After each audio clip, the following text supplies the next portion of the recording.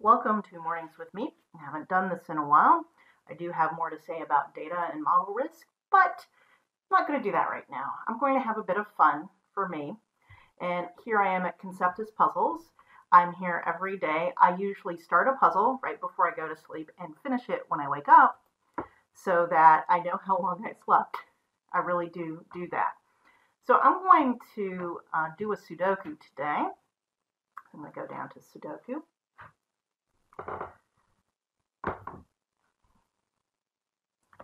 Takes a little bit of time to resolve, so let me drink my tea. Okay. I've mentioned before Conceptis, I've been doing Conceptis puzzles for over 20 years now, and uh, they have free puzzles every week. You don't have to pay for credits like I have. I really like their puzzles, so I have paid. I'm going to do a, a diagonal Sudoku, which is like your regular Sudoku, except on the diagonals you have the digits 1 through 9 each once. Okay, so I'm going to buy and play now. I've never done this one before. Okay, here we go. go so I'm using the tool that it shades out everything it can't be. So I am forced to have a 2 here. Usually I go through it a couple passes, especially if it's a, considered an easy or medium puzzle. Okay. Before I really get down to business. Okay. This is the only one that because sometimes you're able to finish off a number. So for so here's where the diagonal comes in. I'm looking along this diagonal. There is only that square unshaded for 5, so there must be a 5 there. Okay, and so we know those are going to be 5, 6. Could be there or there, there. Ah, okay, here's an interesting one. So because of the way this is, 6 has to be here or here which would eliminate it being in this middle square. So 6 has to be there. Okay, now I have to have a 6 here, 6 here, and 6 here. So on my first pass, I'm able to finish with all the 6s.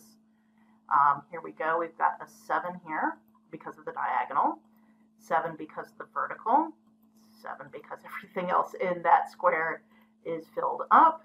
So you can see having more restrictions actually makes the puzzle easier and, and this is hardly surprising uh, because it restricts where the numbers can go. The more restrictions there are, uh, the easier it is to eliminate squares that can be in.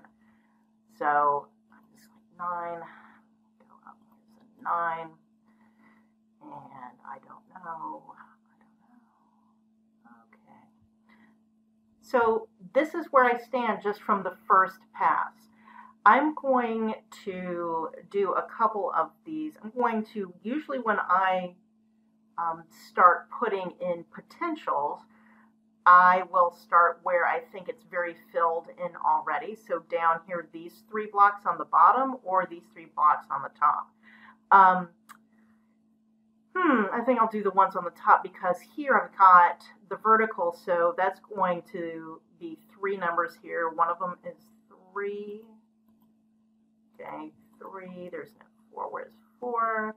Four goes here. Oops, right. Four, five, six, seven, eight, and then there's a nine. Oh, and that actually makes life easy because the four and a nine here eliminates that's got to be a three. You know, so these things get a little bit easier. So I have a one and a two I've got to fill in. So this is one and two and a one and a two. Okay. So let me go down here. I'm looking for a three. Oh, actually, we have to go there. So again, I did my first pass. There may be um, some other easy ones. Oh, okay. So we're going to have one of these squares finished. So one, two, three, four, five, six, seven, eight, and nine. Nine. Nine. Nine. Nine. Four. Four has to go here 4 has to go here. So I don't really have um, a particular way of attack. I do like to do that once through sweep. That's got to be one, one, one, and that's to be a two, two, two, two, two. And of course, once you get a certain critical mass, it's pretty easy to fill in the rest of the grid. But you can see why I do this. I start it right before I go to sleep. These puzzles don't really take a long amount of time. Um, I actually wasted some time on this at the very beginning because I was closing all the windows. Um. I just edited that part out. So this one, even with all my talking and stuff, it was just under five minutes. Um, you do keep a record of all of your stats. If I go to my solved, and this is what's nice, I can replay any of them, of course. So if I wanted to do that one over again, I'm not going to do it right now.